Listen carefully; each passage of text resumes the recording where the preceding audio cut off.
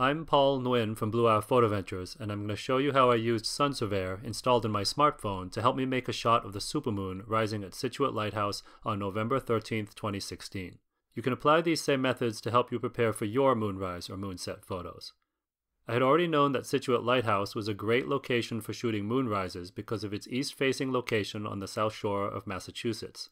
And I knew that I wanted to make my shot from across the harbor using a super telephoto lens and make the moon look huge compared to the lighthouse. The shot I wanted to make would place the rising moon to the right of the lighthouse, which would make a great balanced composition in my opinion. So I still needed to know exactly where to stand to make this composition happen, and that's where Sun Surveyor came in.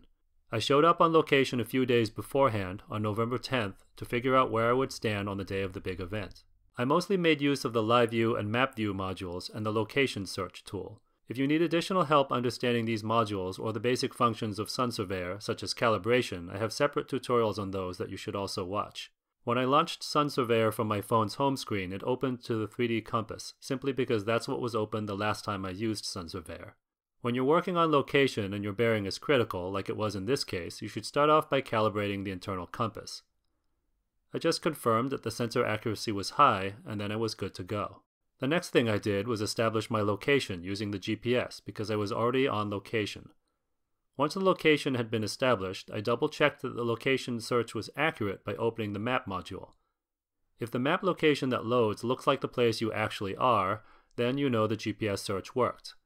If it looks like it loaded the wrong place, you should try redoing the GPS search, or manually dragging the map to the correct location, or searching for your location in Google if it's an established location.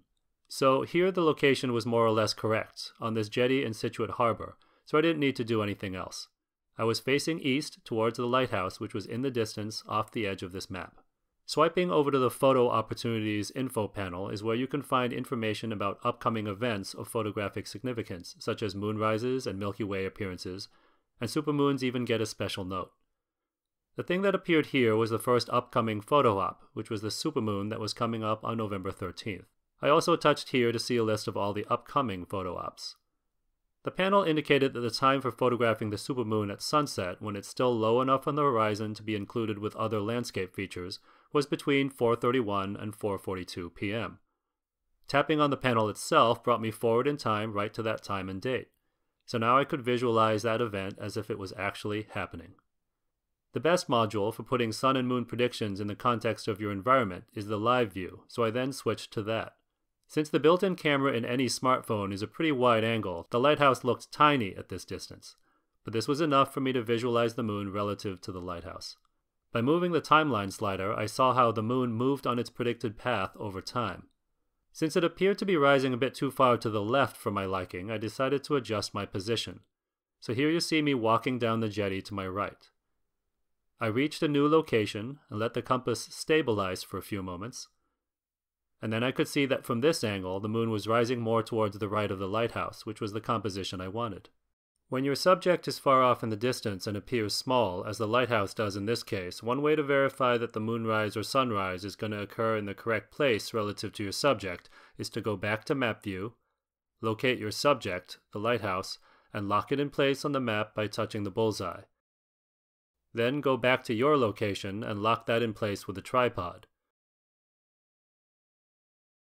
You now have a green line that represents your bearing, and you'll now see by going back over to your subject that the moon is rising to the right of it. I went back to the sun and moon panel to recheck the time of moonrise on November 13th, which was 4:12 p.m. I always make sure I get to my location well in advance so I have plenty of time to get set up and double check everything before the event. So, when I returned for the big shoot a few days later, I verified everything one more time with Sun Surveyor made a few in the moment adjustments of my position as I saw the moon rising, and made this shot using my actual camera and a 400mm lens, capturing this scene of spectators marveling at this enormous moon. And I followed it up with a short time lapse sequence. If you have any questions about this shot or time lapse or photo tours run by Blue Hour Photo Ventures, email info at bluehourphotoventures.com or visit www.bluehourphotoventures.com.